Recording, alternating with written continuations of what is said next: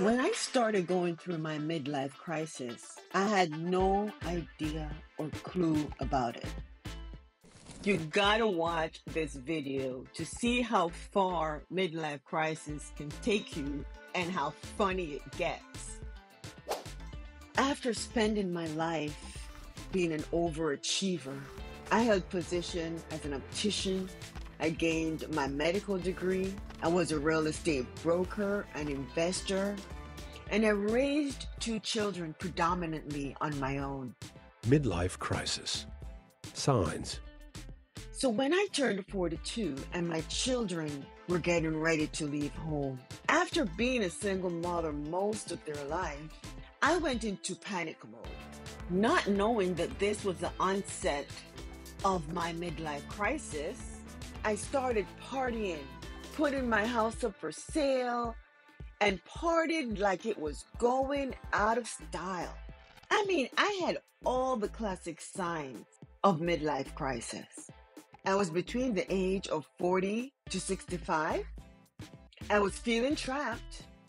I had this immense obsession to lose weight, to get back into shape, to look better, to feel better, anything to make me feel young again. I even resorted to cosmetic surgery. I couldn't decide on what I wanted anymore. My life all of a sudden made no sense. I started questioning my mortality. What did I really want out of my life? Feeling as if there must be more to life than this. What have I done for myself after giving so much to others? I was having severe mood swings and depression. Started looking back at all the big decisions in my life and questioning them. I was having trouble making even the smallest decisions. Started making new risky business decisions and otherwise. Constantly questioning my priorities. Everything and everyone frustrated me, including myself. I had increasing feeling of anxiety. I found satisfaction in nothing. I had increased compulsivity around food, drugs, alcohol, sex, and shopping. I dramatically increased going out, drinking, or clubbing. I changed my circle of friends. Then I started having problems sleeping, constantly not feeling like getting out of bed, avoiding seeing people. At one point, I even felt as if I truly hated people. I was literally a mess. However, I was clueless at the time. It felt all normal to me, as if I was just waking up. I am going to tell you how my midlife crisis turned worldwide adventure woke me up and changed my life. As I try to grow this channel, please don't forget to hit the like and subscribe button. What you should do when going through midlife crisis. In growing up, I didn't have much, so I sacrificed. I was always gaining higher level education till I got to my medical degree. Working in real estate and investing, anything to get me richer and richer and richer. I was never rich enough, or neither did I feel as if I had enough. When the market crashed three years ago and I lost one third of my wealth, this was really when my midlife crisis took a real strong hold on me. So I just bought a one way ticket to Portugal with no plans or knowledge on what my next move was, not realizing that this was part of a midlife crisis. I had always heard of Portugal and how nice and friendly people were there. While there, I visited the entire southern part of Portugal, trying all their food and what they had to offer. I then flew over to Spain. At this point, I started doing more introspection, more meditation. I think at this point, I went a little bit crazy, which started reflecting outwards. I cut off my hair and dyed it all red. It's amazing as you have turmoil inside how it can reflect outward. Correction. You should acknowledge your feelings, focus on self care, try not to make any quick or drastic change in your life, keep track of changes. When my visa expired, I had to leave Europe. As you are only permitted to stay in the Schengen region for 90 days at a time. Very scared to go to Asia after the stereotype and negativity I heard over the years. But it was either Asia, Africa, or go back home. And I was definitely not going back home to face my demon, that boredom, that life that I grew to hate. I wanted more out of life. As I continued traveling in search of myself, who am I? What did I want out of life? I was so confused, not knowing that at the time, again, severe midlife crisis. So I booked a one way flight to Thailand. Thailand was known for its Buddhist culture and meditation. So I thought it would be good for me to go meditate, to get in tune with my thoughts as I confront the arrows in my life and what I was going to do with the rest of it. Knowing nothing about the culture, language, or laws, and mean nothing. I just knew I was not returning home. After a week in Thailand, seeing how the people were so nice and caring to strangers, how safe I felt. There was so much to do in Thailand. Then, like all good things, my visa expired. I had to leave Thailand. Correction. Do not run from your emotions, acknowledge them. Consider therapy or seek support from loved ones. Do not try to go through it alone. So I booked another one way ticket to Singapore. Always one way ticket, always running, always searching, trying to find myself. I didn't know Singapore was so expensive. The people were not as welcoming as in Thailand. So my anger started resurfacing. Singapore has a lot of rules and regulations. Chewing gum and selling chewing gum is illegal. It is illegal to use or possess vaporizers and e-cigarettes. It is illegal to drink in public between 10:30 p.m. and 7 a.m. But it has maintained the status of being one of the richest countries in Asia. I then hopped over to Malaysia, which was close by. What a difference in the country. The people were not as friendly. So I sunk even more in my depression, even more in my hatred for people at the time. The food in Malaysia was very good. And being in my midlife crisis, being more subjective to impulsive of drugs, alcohol, food, expensive shopping, man, did I overindulge on the food. Correction. Focus on what you can control. Add healthy habits. Reframe sudden impulses to overindulge in expensive purchases food, drugs, alcohol, and sex. As I continue to share my journey through my midlife crisis, comparing what I did as opposed to what I should have done, if I had recognized that I was going through a midlife crisis and implemented these changes, my midlife crisis would have not lasted seven years nor cost me as much. Continue watching to see new revelation that opened my eyes and helped me to recover. If you know someone going through midlife crisis, share this video. It just might help. Received really bad news. After leaving Malaysia, I wanted to run, to run as far as possible. So I went to the furthest part of the world, as far from America as I could.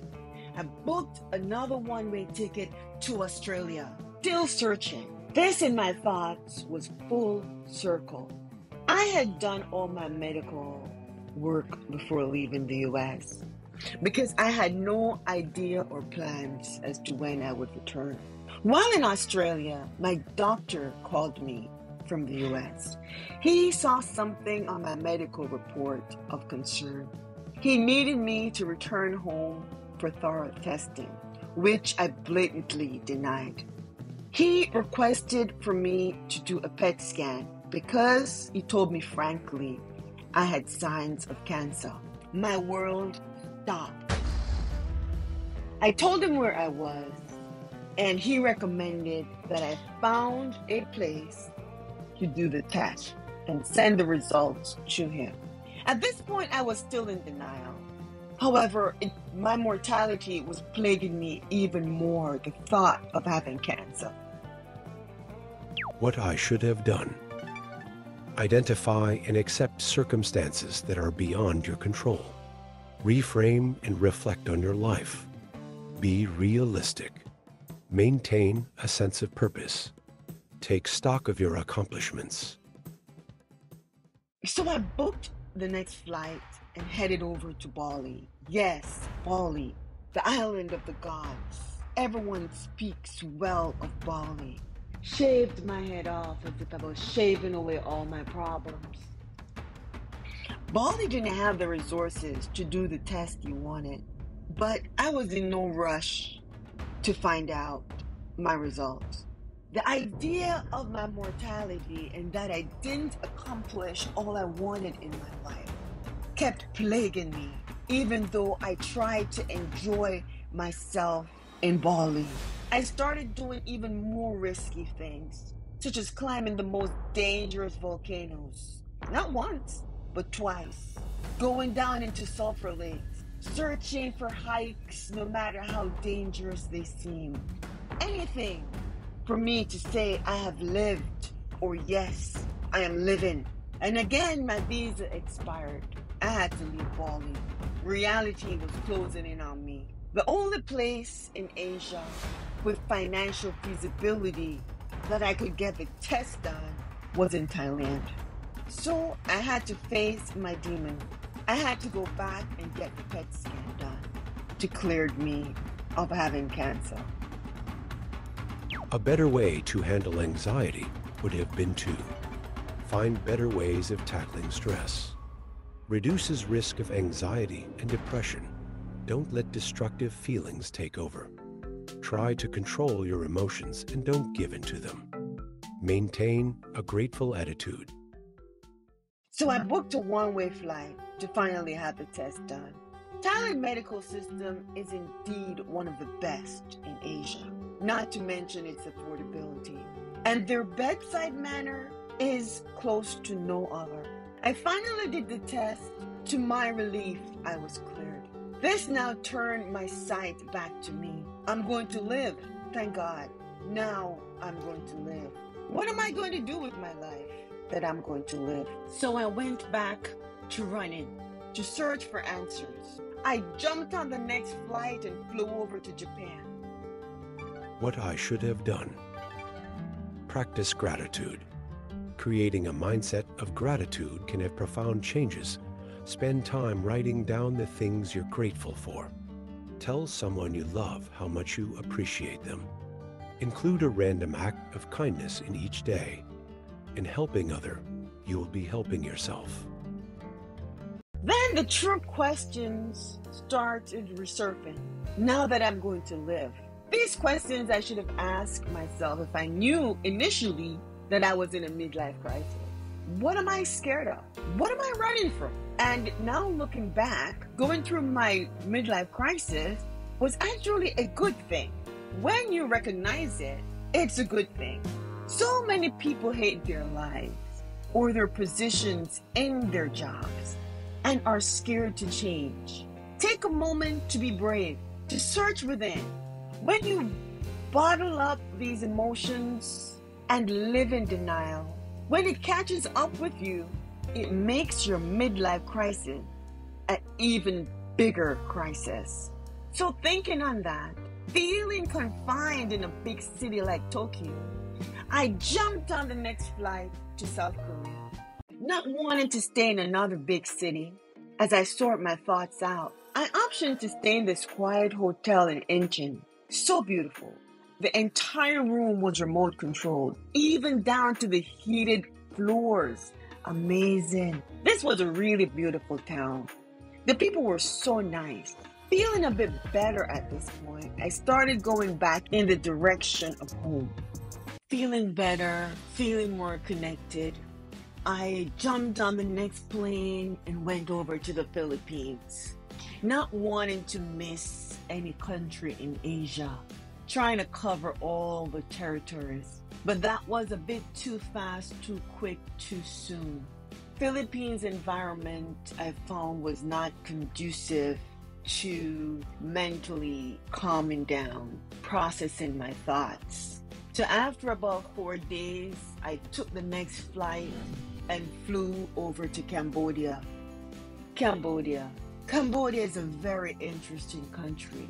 It was invaded by the French many years ago. So it had a very strong French influence. The people as well were not as welcoming. However, they were okay. The food was good, very good food. A touch of Asian with French. However, the crime rate in Cambodia seemed to be a little high.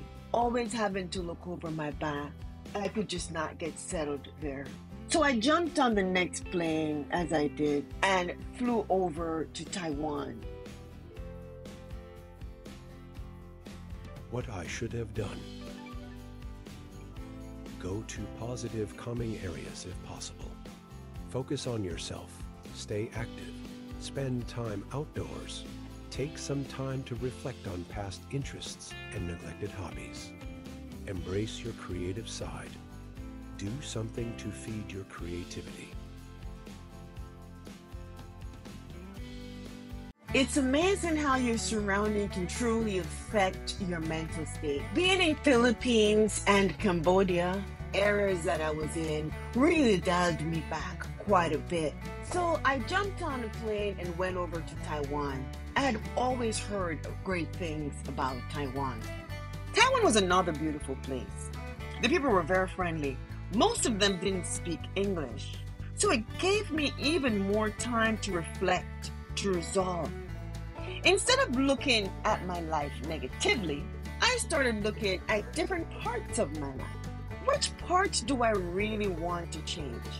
I started realizing that it was the idea of my mortality that I feared. I had a pretty successful life.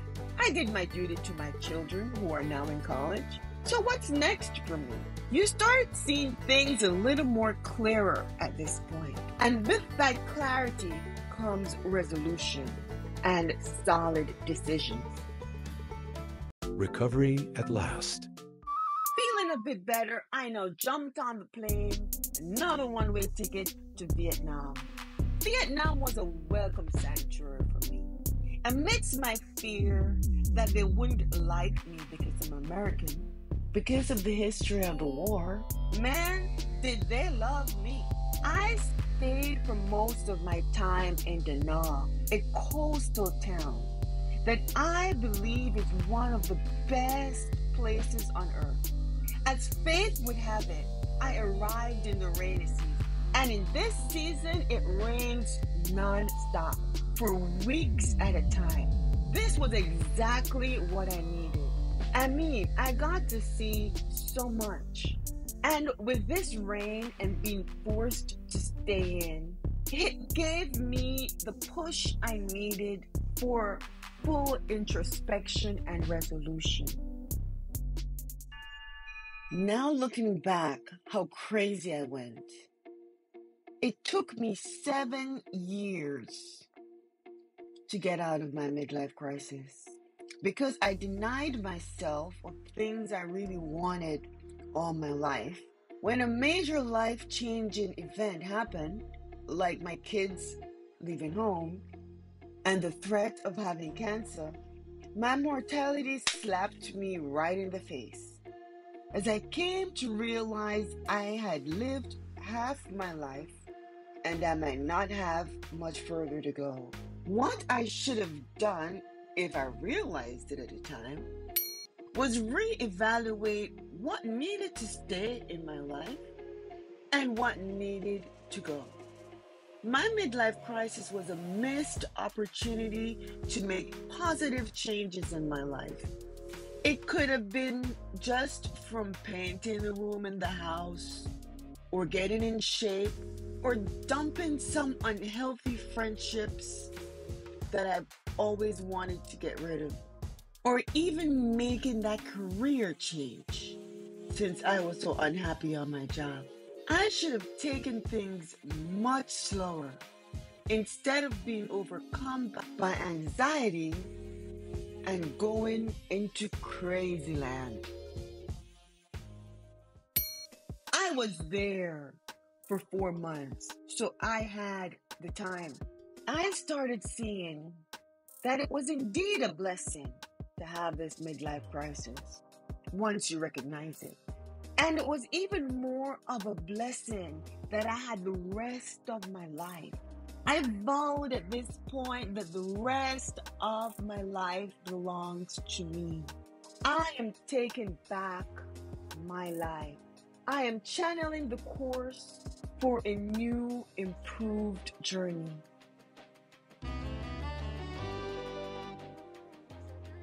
If you're in my situation, don't make quick decisions or sudden moves like I did.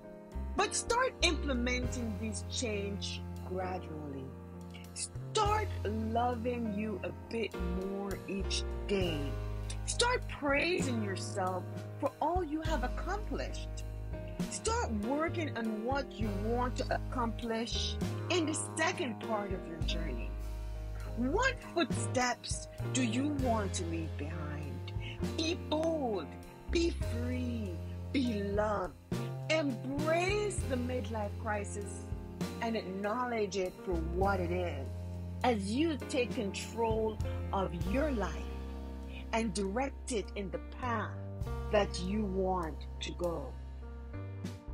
If you like this video, please hit the like and subscribe button as we're trying to make it to 2,000 subscribers. Thank you so much for being a part of my journey.